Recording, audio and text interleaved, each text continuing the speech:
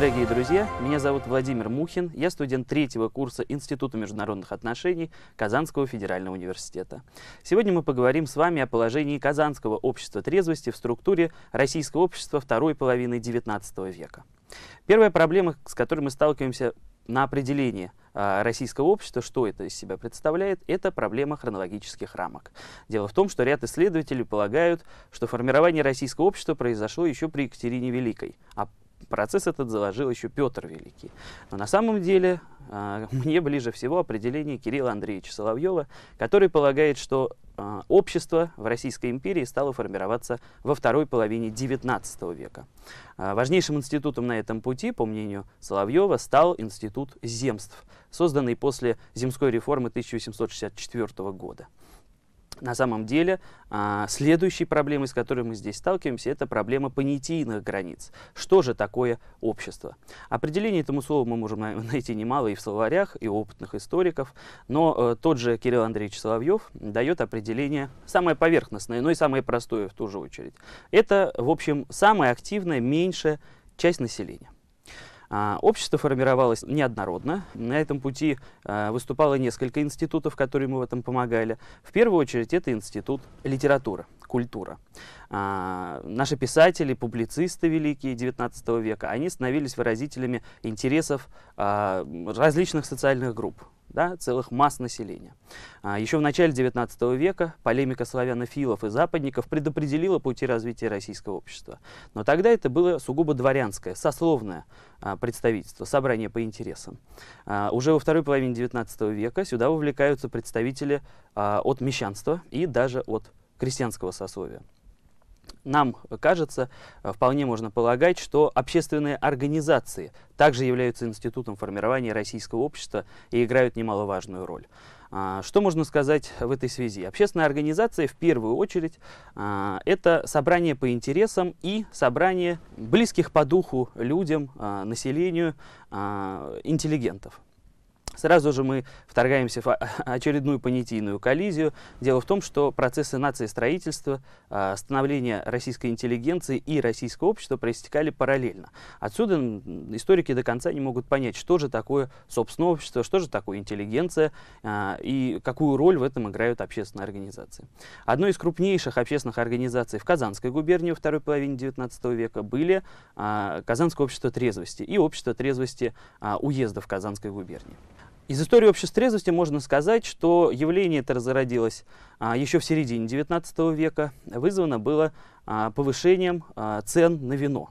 Вином называли в XIX веке всю алкогольную продукцию. И вот крестьяне, которые а, потеряли возможность покупать а, алкоголь, они стали объединяться в такие низовые братства трезвости. Они стали организовываться на началах а, равноправия в эти сообщества и противостоять откупщикам, перестали употреблять алкоголь и вели, в общем, такой праведный образ жизни.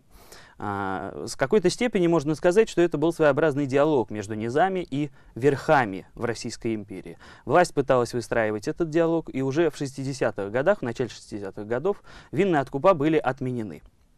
Историки посчитали, что эта мера не сыграла своей роли и цены на вино продолжали расти. Поэтому уже в 90-х годах, на самом деле еще в, 50, в 50-х, в конце 50-х годов, первое общество трезвости а, возникает в городе Ковна.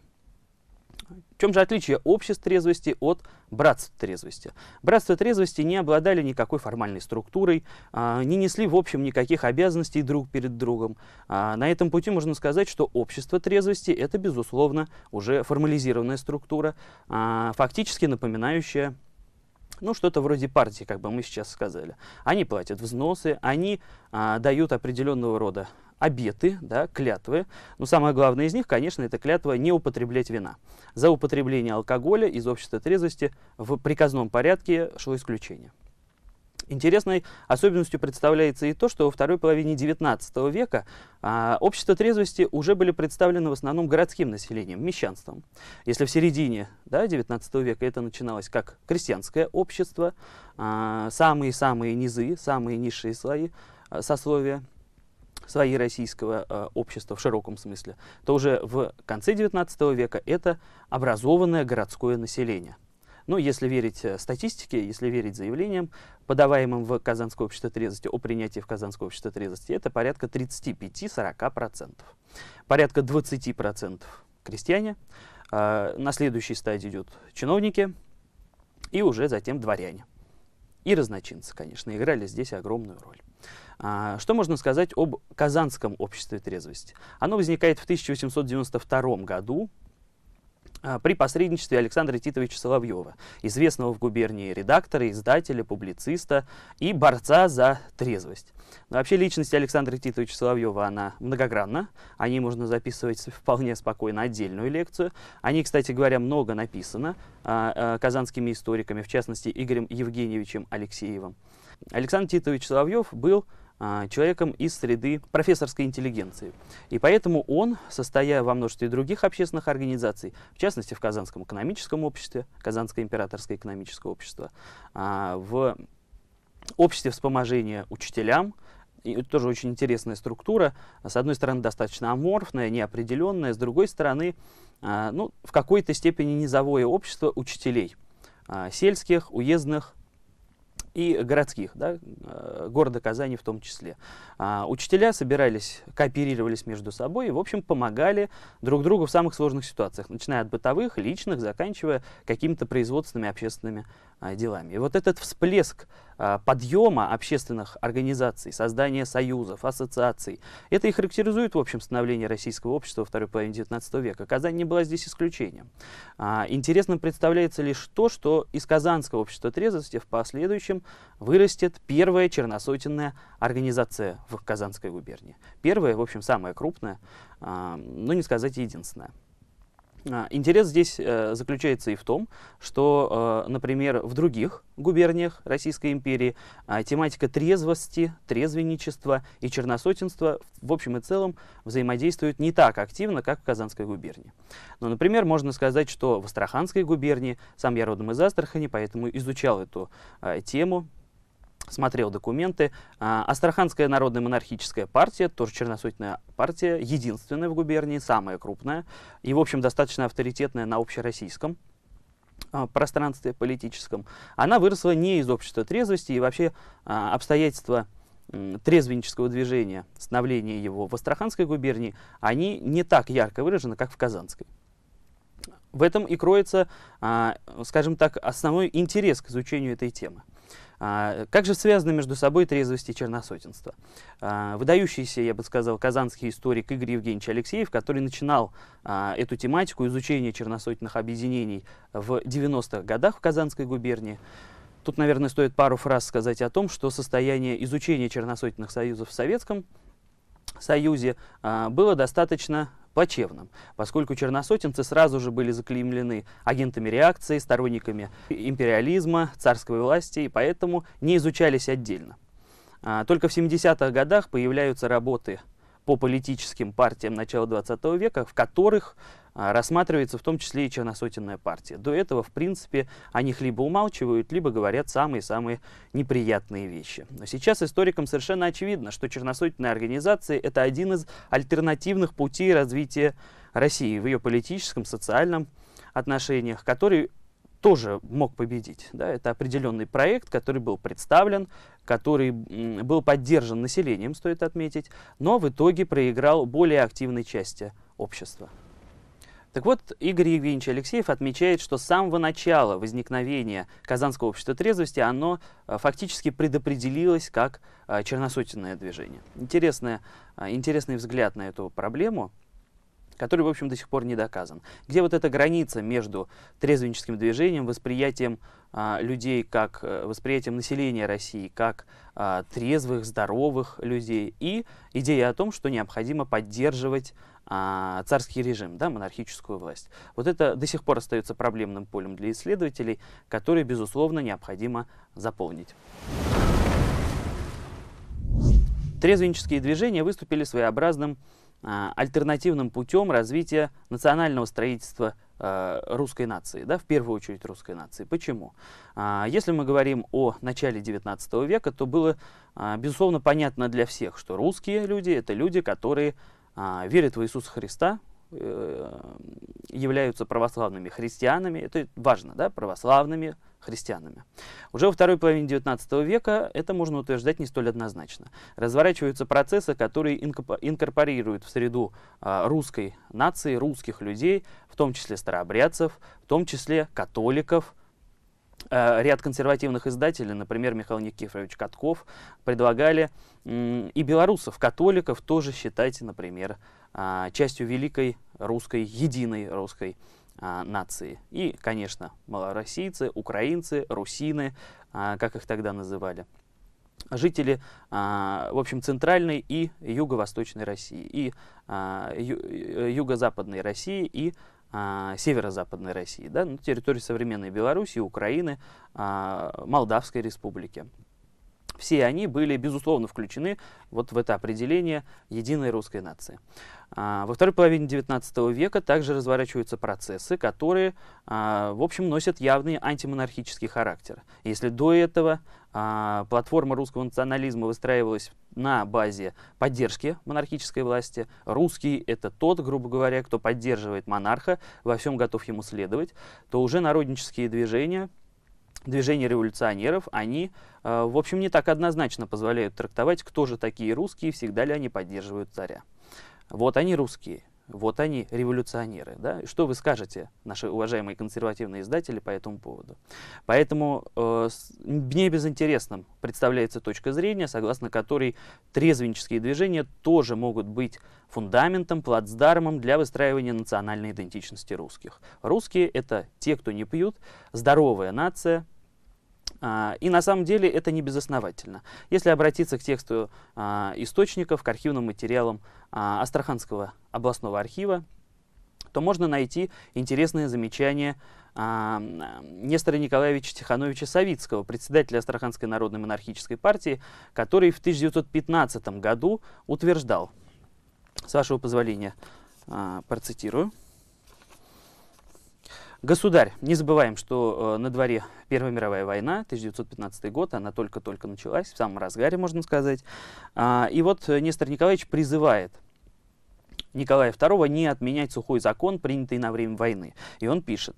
«Государь, сотрит с лица земли Австрию, объединив славян и предоставив свободу ее национальностям. Возьми под свою пету злобную Немеччину, водрузи крест на Святой Софии и в русском Цареграде, и заверши все это величайшим. Создай трезвую, а значит богатую, неизмеримо мощную, великую духом Россию, которая даст всему миру мир». Но помимо известных проектов наших консервативных деятелей относительно э, взятия Царьграда, захвата э, нынешнего Стамбула, бывшего Константинополя, поскольку он является купелью православной византийской цивилизации по мыслю консерваторов.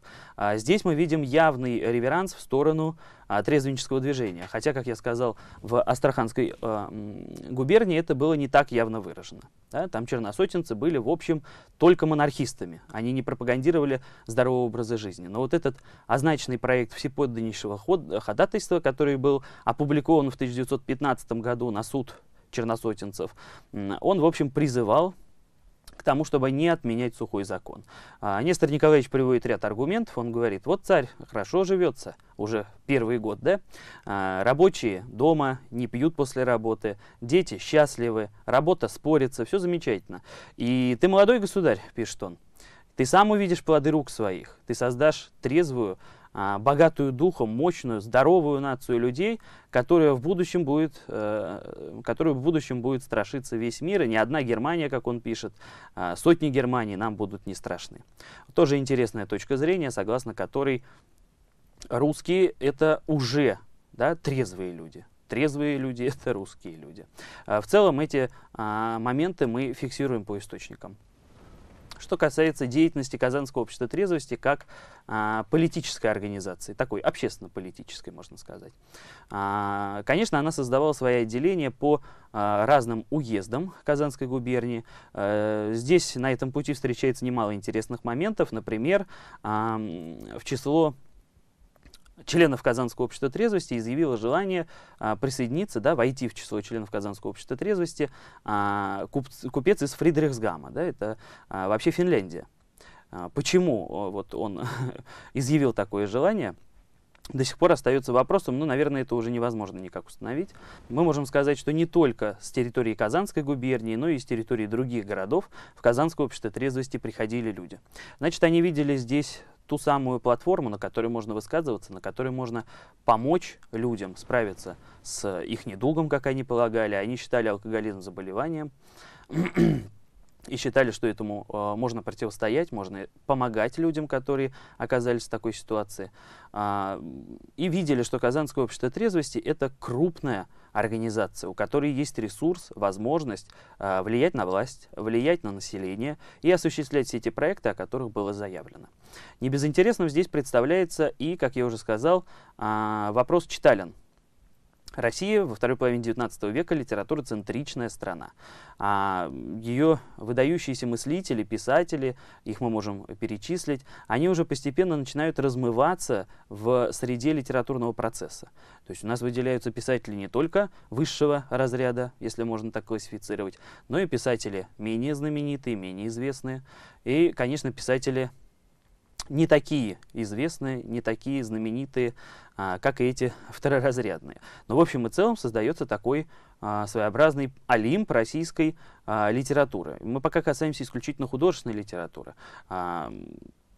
А, это качественно отличает Россию от первой половины XIX века, когда, в общем, история русской литературы изучается по именам конкретных писателей, прозаиков. Все-таки история литературы России второй половины XIX века – это эволюция жанра, жанровых особенностей. И на этом пути, конечно, э, повышается грамотность населения, а, все больше людей вовлечены в процесс написания текстов, читания текстов. И вот Казанское общество трезвости, можно сказать, подхватывает эту тенденцию – и создает читальню. У Казанского общества трезвости была своя читальня, где люди, в общем, могли э, спокойно прийти. На балансе Казанского общества было огромное количество книг, там свыше тысячи наименований числится в источниках. А, но есть одна, конечно, загвоздка. Казанский губернатор в 1893 году писал председателю Казанского общества трезвости о том, является ли эта библиотека общедоступной для пользователей. Могут ли в нее прийти, а, ну, в общем, кто угодно, да, все желающие читать. И вот Александр Титович Соловьев в ответном письме говорит о том, что нет. Читальня Казанского общества трезвости предназначена только для членов Казанского общества трезвости. А, шаг этот весьма показателен мы можем говорить о том, что э, Казанское общество трезвости пыталось создать своеобразную корпорацию со своими нормами, общественными, политическими воззрениями, э, в которую могут входить далеко не все. Но те, кто может входить, те пользуются всеми ее плодами. Но помимо такой социально значимой работы, Казанское общество трезвости начинает в своих доктринальных документах продвигать идею о том, что, а, и здесь стоит отдельно остановиться, в декабре 1822, 1892 э, года, прошу прощения, а, правление Казанского общества трезвости получает, э, поручает одному из своих членов, Владимиру Ивановичу Батурину, чиновнику, а, написать проект инструкций и установлений для создания участковых попечительств. История этого органа тоже интересна в структуре Казанского общества трезвости, но, наверное, не может быть изучена до конца, поскольку, стоит оговориться сразу, этот проект не был принят. Почему? Это отдельно очень интересная история. Владимир Иванович создал, по сути, не только проект инструкций, он создал проект нового устава Казанского общества трезвости. Он дополнял его более чем, наверное, в две трети раз. А, расширяет его, добавляет туда не только часть про участковые попечительства, но и некоторые другие моменты. Например, а, Владимир Иванович Батурин полагал, что Казанское общество трезвости должно быть ответственно за тех людей, которые будут находить в нетрезвом виде. Оно должно полностью сопровождать их на этапе судопроизводства, а, добывать доказательства для следственных органов, в общем, помогать государству в ведении а, дел, касающихся а, людей, а, застанутых в нетрезвом виде да, на месте происшествия. И здесь а, стоит отдельно остановиться на а, восприятии Владимиром Ивановичем Батуриным, чиновником, членом Казанского общества трезвости, задач Казанского общества трезвости. Подчеркиваю, это чиновник, чиновник да, человек чиновничьего сословия. Задача всякой инструкции, пишет он в проекте инструкций, информировать известную деятельность в том направлении, какое всего ближе и вернее ведет к намеченной цели. И так как сфера деятельности участковых попечителей и вообще всех членов Казанского общества трезвости близко касается функций правительственной власти, предлагает ей свое содействие и задается целями общественного благоустройства, инструкция, следовательно, необходима. Чем нам интересен этот фрагмент источника? Владимир Иванович Батурин напрямую заявляет о том, что общественная организация, нерегулируемая со стороны государства, Казанского общества трезвости, а, касается функций правительственной власти. Этот посыл в последующем никак не раскрывается, а, не поясняется, не дается никаких деталей по этому поводу, что дает возможность историкам толковать это, в общем, как им хочется. А, другим немаловажным моментом является то, что, как я уже сказал, на этапе судопроизводства участковые попечители, члены Казанского общества трезвости, должны были сопровождать людей, а, совершивших преступления в нетрезвом виде. И, в общем, Владимир Иванович перечисляет все те категории людей, которые должны оставаться под наблюдением, под опекой и которым должна быть оказана помощь. То есть Казанское общество трезвости э, брало на себя обязанности оказывать помощь пострадавшим от рук алкоголиков. Это тоже крайне интересный момент. Особенному же вниманию участковых попечителей должны подлежать. Первое. Сироты, состоящие под опеку. Второе. Отдельные предприниматели, эксплуатирующие детский труд, как то акробаты, странствующие музыканты, содержатели певческих хоров. Третье. Дети, закабаляемые нищими. Четвертое. Дети при родителях или родственниках, жестоко обращающихся с ними. Пятое. Дети, лишенные какого-либо пристанища и беспризорные. Шестое. Одним словом, все заведения. Фабричные, промышленные, торговые и ремесленные. Частные ночлежные дома. Постоялые дворы, артельные квартиры, дома терпимости, трактиры, кабаки, партерные и винные лавки и другие заведения, где сходятся и живут лица, предающиеся пьянству. Но из шестой категории нам понятно, что в общем и целом это касается касается только людей, которые а, алкоголики, да, страдают алкоголизмом. Но мы видим из предшествующих пунктов, что Владимир Иванович хотел взять под опеку и людей, не связанных э, ни с реализацией алкогольной продукции, ни с ее потреблением. То есть это такая попытка расширить э, полномочия Казанского общества трезвости в тех сферах, где, в общем, которые его не касаются. А, крайне любопытный момент. Э, проект инструкции дополнения к уставу а, в конечном итоге не были приняты, и Владимиру Ивановичу Батурину даже пришлось уйти из Казанского общества трезвости. Конечно, по источникам э, затруднительно проследить, что конкретно там произошло, но есть версия, что, в общем, Владимир Иванович взял несколько больше на себя, чем ему полагалось. То есть из простого проекта инструкции он создал целый устав, и по этому уставу, уставу полагалось дать Казанскому обществу тех полномочий, которых у него быть не должно. А, что же такое устав? Тоже крайне интересная и любопытная вещь. Как я уже оговорился, юридически со стороны государства деятельность общественных организаций вплоть до начала 20 века никак не регулировалась. А, и поэтому единственным способом определить, да, установить предел деятельности общественных организаций, любых, не только общества трезвости, это устав. Устав принимался, собственно, членами, правлением а, обществ, и утверждался губернатором. А, крайне любопытное замечание здесь вносит Анастасия Геннадьевна Быкова, исследовательница трезвеннического движения. Она говорит о том, что э, уставы не всегда а, находились в печатном виде и не всегда вообще были уставы. Например, деятельность общества могла регулироваться исключительно а, прошением на имя губернатора, которое утверждалось и все. И это обстоятельство было основанием для деятельности, а, ну, в частности, обществ трезвости в некоторых других губерниях. Казанское общество трезвости был свой устав, он был принят в 1892 году.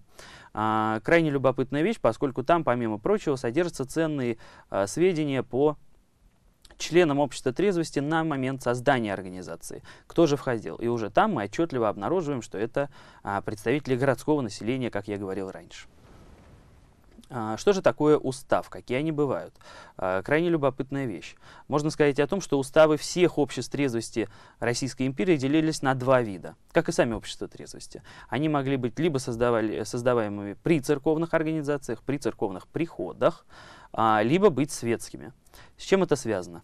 В 1789 году Святейший Синод выносит постановление, в котором говорит о том, что э, реализация алкогольной продукции в, масштабах Российской империи достигла, наверное, своего пика за последние э, десятилетия. И поэтому необходимо подтолкнуть не только э, власть, не только правительственные организации, но и церковные приходы, общество трезвости, братство трезвости, они там тоже фигурируют, к активной просветительской созидательной деятельности.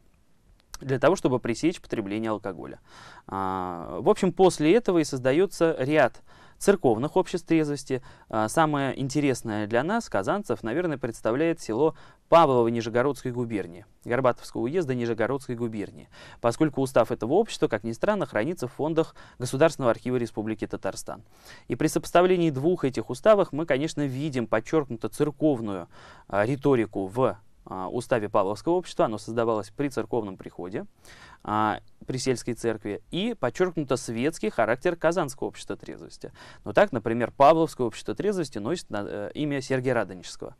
А, всем вступившим в общество после а, ну, как бы обряда инициации, после вступления вручаются а, иконы Сергия Радонежского. И вообще э, риторически там э, можно проследить, что а, пьянство называется не злом, не вредом, не преступлением, а грехом.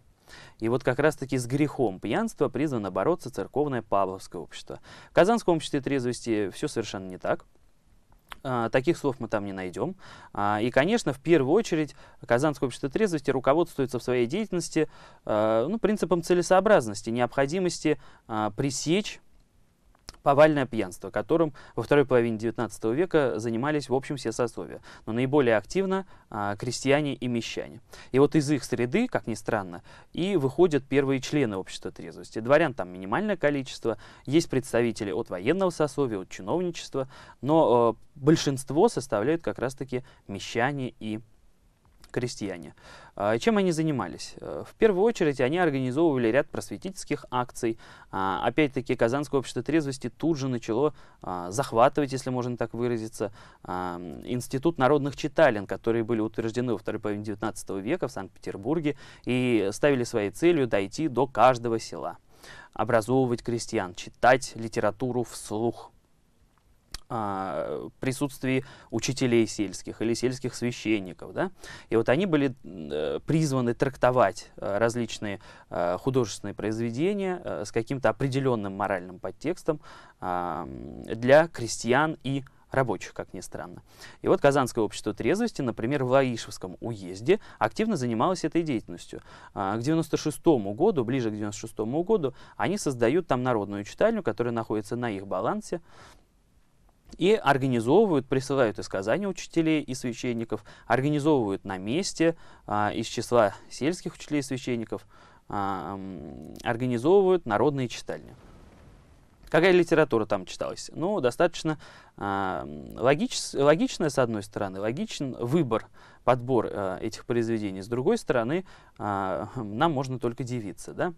Э, список книг, которые должны были присылаться в народные читальные в уезды, а, регулировался Санкт-Петербургом да, столицей, столичным управлением, инспекцией по народным чтениям. И этот список был строго ограничен. Туда не допускались произведения, не входящие в этот список, не удовлетворяющие каким-то критериям. А, ну, конечно, первый критерий – это воспитание в духе христианского а, учения. Второй критерий – это воспитание в духе а, монархического, да, монархического склада. Воспитание из крестьян, лояльных а, Российской империи, царскому режиму, подданных. Но все-таки пока еще не граждане, это важно. Например, в фондах Государственного архива Республики Татарстан хранится документ, э, письмо директору Народных училищ Казанской губернии, э, в котором э, из Лаишевского уезда, директор Народных училищ Лаишевского уезда задает вопрос, э, можно ли нам читать Гоголя. Николая Васильевича Гоголя, его пьесы, можно ли их ставить, а, можно ли их разыгрывать. Пьесы там самые, что ни на есть, а, ну, такие самые что ни на есть простые, не соотносящиеся никак с критикой а, строя, с критикой самодержавия, с критикой христианства. Ну, например, пьеса «Майская ночь», «Вечера на хуторе близ Диканьки». И директор народных училищ, ссылаясь на циркуляр а, Одесск, попечителю Одесского учебного округа говорит о том, что нет, Гоголя нам читать нельзя. Это крайне интересная и любопытная деталь, поскольку, скорее всего, э, Гоголь был запрещен, а точнее не был допущен, поскольку просто-напросто не числился в списках э, дирекции э, народных читален, да, инспекции народных читален в Санкт-Петербурге. Посему все, что не входит в этот список, оно объявляется нелегальным и к чтениям не подлежит. Итак, какое же место занимает Казанское общество трезвости и идеология трезвенничества в поиске национальной идентичности? Мы уже оговорились о том, что русскими, в общем и целом, а, утрируя, да, русскими считались а, те, кто исповедовал православное христианство, и те, кто а, выражал лояльность монархии, да, царскому режиму. Алексей Ильич Миллер в монографии «Национализм в империи Романовых» подчеркивает, что а, ограничение, да, определение территорий как этнических, так и а, территориальных рамок русскости – это, в общем, проблемное поле для исследователей. А, и нельзя с точностью сказать, где начинается и где кончается русский человек в XIX веке. Конечно, трезвенническое движение предлагало свой ответ на этот вызов времени, который потом снова вырастет в идею о православии. Я уже говорил о том, что Казанское общество трезвости а, станет плацдармом для становления черносотенной партии в Казанской губернии. А, но Казанское общество трезвости не было здесь Вообще трезвенческий дискурс был здесь не единственным. Например, в середине XIX века в Чехии возникает гимнастическое общество. В России в, э, во второй половине XIX века также возникает гимнастическое, русское гимнастическое общество, позднее названное Русским гимнастическим обществом «Сокол». И, в общем, это крайне любопытное явление в общественной жизни Российской империи того периода. А соколы э, занимались тем, что поддерживали а, себя в хорошей физической форме, да, занимались спортом на улицах, публично, и этим доказывали, что они часть русской нации. Как, как ни странно это будет. Они а, занимались спортом и говорили о том, что э, настоящий русский человек, он должен быть а. монархистом, б. А, ну, таким качком, как бы мы сегодня сказали. А, на самом деле феномен этого а, общественного движения до сих пор не исследован, а, и непонятно, откуда оно возникло и с чем связано. А, что касается Казанского общества трезвости, постепенно в 92-93 годах разворачивается дискуссия о том, что было бы неплохо а, взять опеку над лечебницами и приютами. Одна из фотографий а, лечебницы Казанского общества трезвости, принадлежащая ему, изображена на слайде. Мы можем к ней обратиться. Она находилась на улице Подлужной, это практически центр Казани, центр города. И, конечно, Казанское общество трезвости в этой связи хотело а, забрать уже а, большее количество каких-то социальных институтов, внедрить их в свою структуру и осуществлять над ними надзор и контроль. Ну, резонно можно предположить, что социальные институты были а, только началом для последующего наступления в политическую плоскость. Здесь нам снова необходимо пояснить, что, по мнению ряда исследователей, самым э, главным из которых, наверное, самым ярким, а, снова выступает Кирилл Андреевич Соловьев. У него есть отдельная интересная работа, называется она «Политическая система Российской империи в 1881-1905 годах. Проблема законотворчества». И в ней он говорит о том, что, помимо прочего, помимо того, что в Российской империи есть а, дворянское сословие, есть крестьянское, как нам всем известно, есть царь. В Российской империи совершенно отсутствует публичная политика. Это очень интересное заявление.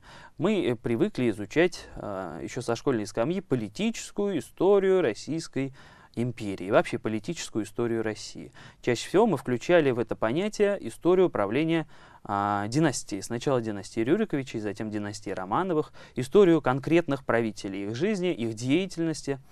Так вот, э, это идеально сходится с тем, что, по мнению современных э, историков, политики, пространства политического в Российской империи не было. Что они под этим подразумевают? В Российской империи, а, как и в ряде других империй нового времени, и, естественно, средневековья и более ранних, а, более ранних периодов истории человечества, единственным человеком, который мог поставить вопрос о развитии векторах развития страны, о том, куда ей следует идти, о том, какую позицию она будет занимать на международной арене, да, и вся реформаторская деятельность. Чаще всего все эти процессы связаны с именами конкретных правителей. Таким образом, решение о развитии страны может принимать в стране один человек. А весь этот э, класс управленцев, чиновников, они призваны решать конкретно практические задачи, которые им поставит царь, монарх. А, интересным в этой связи является, в этой связи является и то, что а, первым, наверное, человеком, по мнению Соловьева в том числе, который на этом пути перестал быть простым чиновником, перестал отвечать э, исследовать своим каким-то узким ведомственным интересам, был Петр Аркадьевич Столыпин, э, премьер-министр, председатель Совета министров начала 20 века, в правительстве Николая II, который, в общем, тоже пытался ставить вопрос о развитии страны, о путях ее развития. Что вообще все это означает? Это означает то, что обсуждать какие бы то ни было политические решения, обсуждать то, куда страна идет и куда она должна пойти, а, в общем, никто не мог. Но начиная с либеральных реформ Александра II, а, можно отметить, что все большее количество людей, общественных деятелей, политических публицистов, начинается политическая журналистика в Российской империи именно после этих реформ, все большее количество людей вовлечено в процесс обсуждения а, того, что из себя представляет Россия, это раз, и отсюда у нас развитие славянофильских, запад, западнических идей начала XIX века, появление других ответвлений, народничество, почвенничество, утопический социализм Герцена. Все большее количество людей разных сословий, разных профессий, разных политических взглядов, призванное в обсуждение того, что происходит со страной. Э, возникнет Государственная Дума, которая начнет оспаривать решение а, императора. Политика окончательно становится публичной, то есть вынесена в публичное пространство. А, что это означает? То есть она открыта перед читателем, она открыта перед народом. Любой э, читающий, грамотный человек может следить за тем, что происходит со страной, и даже в начале 20 века, в ходе Первой русской революции и после нее, может оказывать влияние на происходящее в стране своим непосредственным участием. Казанское общество трезвости выбрало другой путь, оно инкорпорировалось в среду а, черносотенных организаций, вошло в их среду, да, и не противопоставляло себя императорской власти, императорскому курсу, а в общем и целом следовало ему, оказывало всяческую поддержку стоит отметить, э, что вопрос о формировании самих черносотенных организаций тоже остается весьма спорным. А, непонятно, откуда они возникли, зачем они были нужны, а, кто был в числе их представителей. Это были люди малообразованные, неграмотные, или же наоборот, это была интеллигенция, профессорская, преподавательская, дворянская интеллигенция. Все эти вопросы еще ждут своих исследователей. Э, и ждут аргументированного доказательства своей позиции. Но абсолютно точно понятно, что сам феномен сам феномен черносотенного движения связан с революционными а, событиями а, второй половины XIX века. Черносотенные партии возникают как ответ на вызов а, революционеров. Что это означает? Черносотенная партия сама по себе а, – это оксюморон. Этого не должно быть. Черносотенцы не считали принцип партийного строительства государством превалирующим. А, зачем нужен такой царь, ради которого нужно образовывать партию и идти за него, значит, еще с населением о чем-то спорить. Такой царь, слабый царь, он совершенно а, не нужен, его нужно сместить и заменить более хорошим. Но, а, так или иначе, черносотенцы образовывают свою партию э, со скрипом, с неохотой и вступают в борьбу с революционерами уже на площадях. А, интересно в этой связи представляется идеология и программа монархической партии, которая была написана Владимиром Андреевичем Грингмутом э, в начале 20 века, в которой он заявлял о том, что, э, во-первых, он, конечно, давал а, развернутый перечень врагов России, революционеров, а во-вторых, он доходчиво объяснял чем они отличаются от черносотенцев. Все это сделано в крайне увлекательной форме катехизиса, а, специализированный жанр э, христианской литературы, который призван ответить на самые популярные вопросы.